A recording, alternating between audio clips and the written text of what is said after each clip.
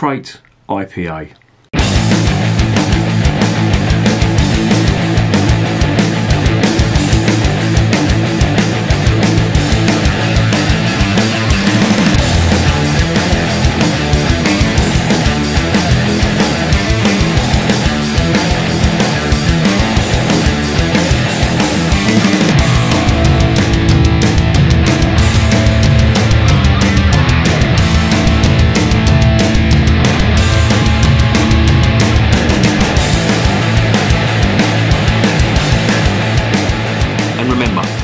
Too short to be drinking shitty beer. Welcome to another edition of Bands, Bikes and Booze Reviews. Tonight, I've got a can of Crate. This is the IPA from the uh, brewery in Hackney that um, is just over the river from the Olympic Stadium. You know, the place where the Olympics were held in 2012. That was when they were formed in 2012. As you may or may not know, the Olympic Stadium is now the home of West Ham United. It is a shit pit, and I refuse to go there ever again because it's not a football stadium, it is an Olympic stadium. Anyway, more on that later. Um, this looks uh, pretty decent. It's an IPA, uh, it's 6%, it's in a 330ml can. The tasting notes it says on this a complex bowl with lots of juicy hops, one to sip, sup, and savour. Um, ingredients are water, malted barley, wheat, hops, and yeast. So it's got wheat in it. Mm, okay.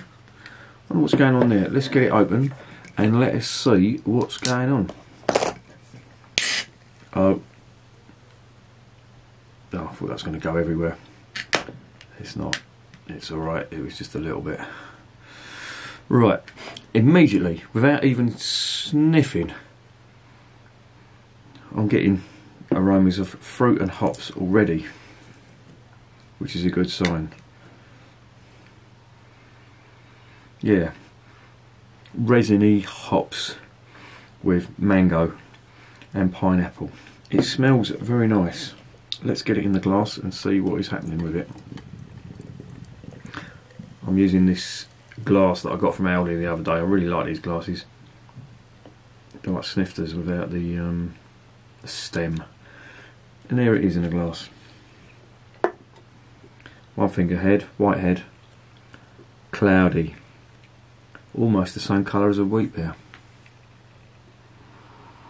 Oh, very sweet fruit, passion fruit and orange. All coming from these hops. This smells really good. I'm going to dive in and give it a go.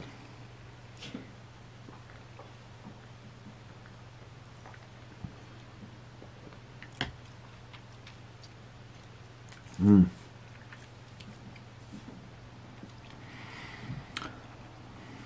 Yeah, that's really nice. There's mango, passion fruit, the usual stuff you get from the, the hops. I'd love to know what hops are in that. Quite a bit of resin on them hops as well. Mouthfeel is quite nice. Um, I think the wheat is doing that. Long aftertaste of fruit, sweet fruit.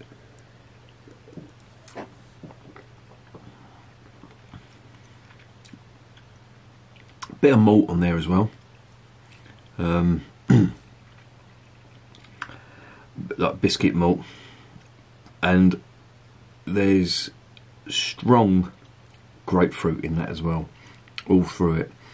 It's nice. They're very resiny. The hops, they've got that resin type sort of feel and taste to it.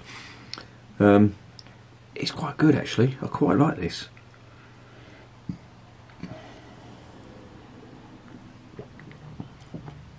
The actual brewery is very small, um, but they they sell this in Tesco's now, which is great.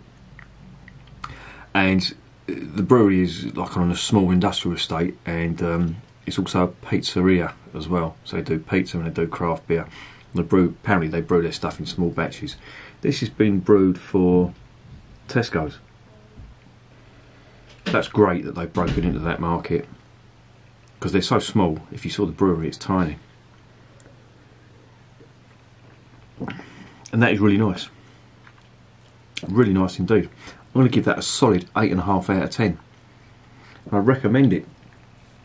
these are really good. I'm not sure if you're going to be able to get these sort of outside London. I don't know how much they've brewed of this, but if you can track it down, get some. It is great. It's really good. There's the can. That's what the can looks like.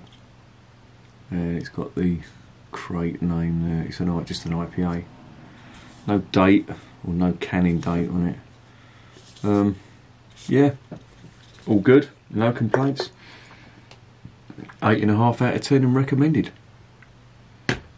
And remember, beer is working class champagne.